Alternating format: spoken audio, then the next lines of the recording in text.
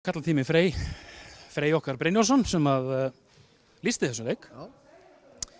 Þessi fimm marka sigur í, í endan hjá, hjá haugum og ja, með við síðustu 15 mínútur í leiknum þá, þá var þetta fyllilega verðskulda. Já, já, stöðinu 24-22 stjarnar virtist vera, bara ég síndu bara hungur og virtist alltaf bara að að ganga lægi en þá kemur eitthvað bakslægið á þeir eins og haugarnir breytum vörn og Einar Ólar kom inn og tók mikið af bolta 7-0 kapli og leikurinn búinn Þetta er auðvitað eins og við vorum að koma inn á þann að sko í dag loksins fannst manni breyttin hjá haugkæliðinu sína sig. Það er að segja og skila sér inn á völlin. Andri Heimir, Daniel Þór, Einar Ólafur, Heimir Óli.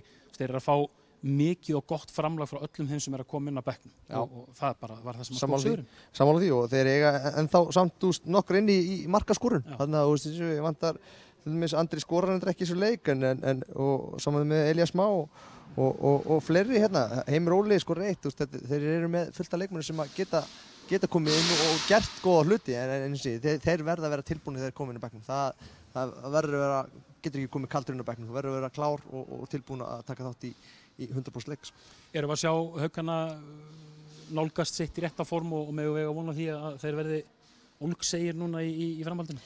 þeir náttúrulega bara þurfa að fara að sína svona leiki, stöðuleika þú veist, þeir get ekki liftist leika sem mútið fram á 41 mark á sig og, og svo hérna, sóknarlega og svo næsta leika orðum frábærir hérna varnarlega og, stó, og skora ekki nóg sko. þannig að þetta, þeir, verða að fara að sína stöðuleika bara sjá til hvernig næsti leiku þróast hjá þeim þetta lítur ágætlega út með þennan leik en, en uh, við bara sjáum til hvað hva næsti leikur gefur á sér Held ég, þá held ég að við látum uh, þetta vera loka orðin hjá Frey Brynarsinni í þessari útsendingu okkar hér á Sport TV. Búin að vera hér með, uh, já, hellingspakka bæði fyrir leik, í hálfleik og, og eftirleik og, og ég held að sé bara næstu okkur að kveðja fyrir þessi leiki. Jú, bless Við þökkum kjallaði fyrir okkur og, og sjáumst í næstu umferð. Takk fyrir okkur.